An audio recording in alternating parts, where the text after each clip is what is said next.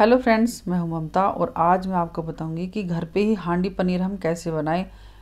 Hotel और restaurant से भी बढ़िया आज हम पनीर अपना घर पे बना के तैयार करेंगे। बिल्कुल इजी तरीका मैंने आज आपको बताया है तो वीडियो को आप लास्ट तक ज़रूर देखें और जैसे मैं बना रही बिल्कुल आप ऐस, इस तरह से बनाइए तो चलिए बनाना स्टार्ट करते हैं।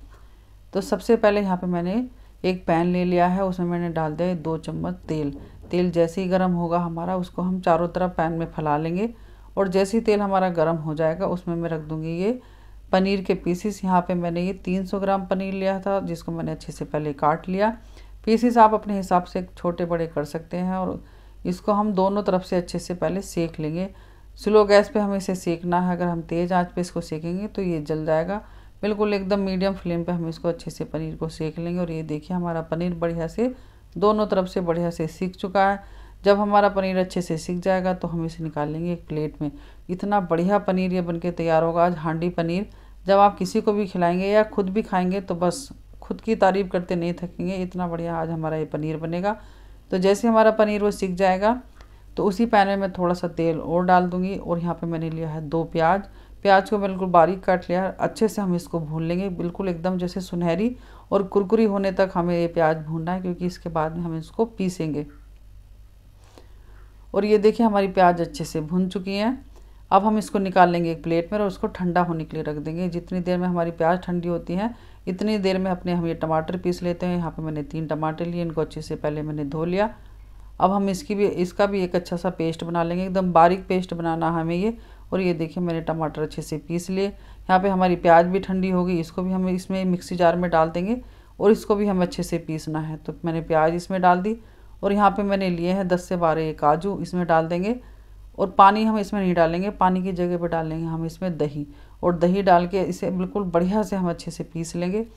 और एकदम बारीक सा इसका हमें पेस्ट बनाना है और यहाँ पे हमारा पेस्ट भी तैयार हो चुका है। यहाँ पे मैंने रख दी अपनी हांडी। गैस को बिल्कुल एकदम मीडियम रखा है। हांडी में मैंने डाल दिया थोड़ा सा तेल। तेल आप अपनी मर्ज़ी से कम ज़्यादा कर सकते हैं। यहाँ पे मैं डाल दूँगी इसमें खड़े मसाले। थोड़ी सी मैंने यहाँ पे दालचीनी डाल दी, दो इसमें मैंने बड़ी इलायची, दो हरी इलायची चार पाँच लौंग डाल दिए और थोड़ी सी मैंने इसमें डाल दिए काली मिर्च और इन सब मसालों को अच्छे खुशबू आने तक हम भून लेंगे। और आप देख सकते हैं कितना बढ़िया से हमारे इसमें हमारे ये मसाले भुन चुके हैं। जैसे हमारे खड़े मसाले भुनेंगे, अच्छी सी खुशबू आएगी।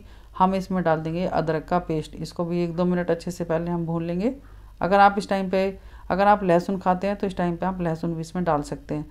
और जो हमने टमाटर पीस के रखे थे, ग्रेवी को उसमें हम इसमें डाल देंगे अपने टमाटर के पेस्ट को। और इसको भी एक दो मिनट अच्छे से हम भून लेंगे जब तक हमारे टमाटर का कच्चापन ना जाए। और जैसे ही हमारा टमाटर अच्छे से भून के और थोड़ा सा पक जाएगा, उसमें डालेंगे हम कुछ मसाले। तो यहाँ पे मैंने हल्दी पाउडर, लाल मिर्च पाउडर डाल दिया थोड़ा सा और थोड़ा सा डाल दिया है मैंने इसमें धनिया पाउडर। और यहाँ पे मैंने थोड़ा सा डाला इसमें सब्ज़ी मसाला और इन सब मसालों को हम अच्छे से भून लेंगे और टेस्ट के हिसाब से हम डाल देंगे इसमें थोड़ा सा नमक।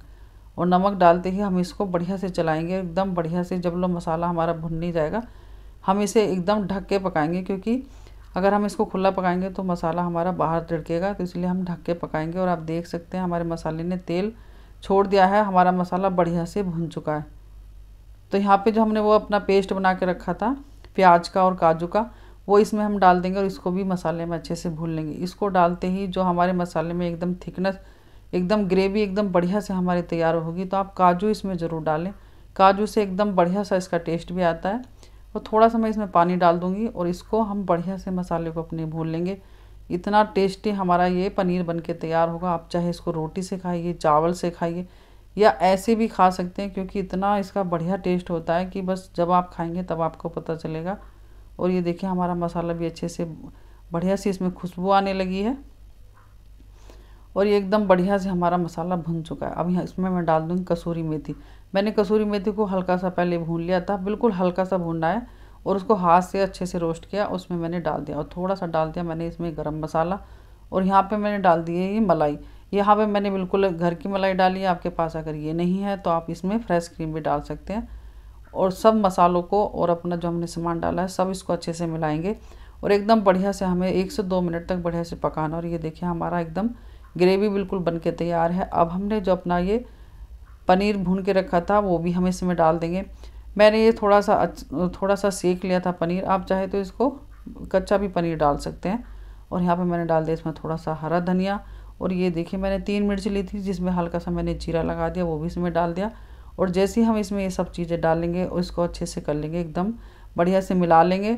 और उसके बाद में दो से तीन मिनट तक और पकाएँगे और ये देखिए, हमारा एकदम हांडी पनीर बनके एकदम तैयार है। इतना लाजवाब इसका टेस्ट होता है कि जब आप बनाएँगे तब आपको पता चलेगा। तो एक बार तो आप ज़रूर ट्राई करें। अगर आपको मेरी बनी हुई वीडियो अच्छी लगती है तो प्लीज़ मेरे चैनल को सब्सक्राइब करें और ज़्यादा अच्छी लगती है तो लाइक करना ना भूलें और कमेंट आप ज़रूर करें क्योंकि आपके कमेंट हमारे लिए बहुत ज़रूरी होते हैं। और ये देखिए, हमारा एकदम हांडी पनीर बन के तैयार है। कितना बढ़िया कलर आया इसका कितना बढ़िया देखने में लग रहा है। तो आप सोचिए, जब आप बनाएँगे तो आप, आपको कितना अच्छा लगेगा। तो आप एक बार ज़रूर ट्राई करें और वीडियो अच्छी लगी तो ज़रूर लाइक करें और आप इंजॉय करें ये पनीर। हम मिलते हैं नई रेसिपी के साथ। तब तक के लिए थैंक यू सो मच